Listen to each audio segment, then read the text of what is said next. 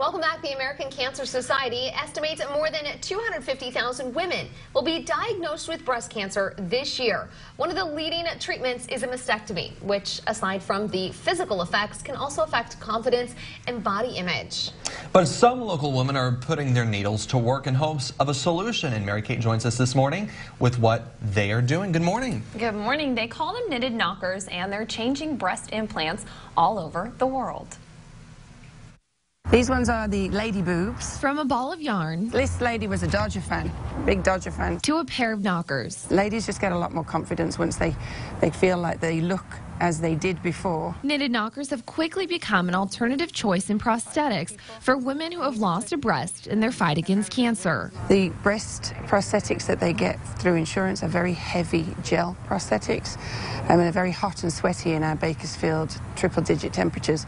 Um, and these ones are soft and light and they can wear them as soon as their mastectomy drains come out. The prosthetics, knitted from soft yarn and stuffed with cotton, were started in Washington State in 2011 but have since been been distributed worldwide, making their Bakersfield debut in 2016 through the Adventist Health Breast Center. So far, we've given out around 420. Made by local knitters in all sizes and all colors. We have them in all types of skin tones, recognizing that breast cancer affects all ladies, no matter what um, ethnicity and race. The center holding its second Knitted Knockers Knit Off, raising money for supplies to be able to keep the knockers free to all patients. We challenge people to make a set of knockers, or one knocker or two knockers in whatever design they want to, whatever fabric, materials, yarns that they would like to, and enter them for our annual Knitted Knocker Knit Off competition. The Knitting Guild.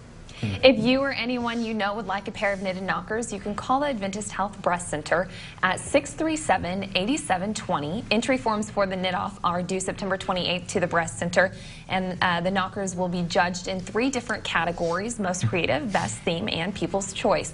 You can find the entry form and, of course, more information on our website, kget.com. I bet there are a lot of people out there who are getting their needles out going, I can do this, I can oh, help. Yeah, and, and they does. get so creative. I, I mean, know, I the, the Dodger with the baseball, then they the have the gnome with his home. Yeah, the, uh, that's so what I think is so neat about it is they're all creative, you yeah. know, and they have a lot of fun doing it, and fun. it goes to helping a lot of people. Yeah, it's $25 to enter into the competition, mm -hmm. but um, all that money goes to the supplies for the the knockers so that they are free to all patients, and so you don't cool. have to be a patient at Adventist Health to get them. So love it. Yeah. All right, thanks, Mary Kate. Mm -hmm.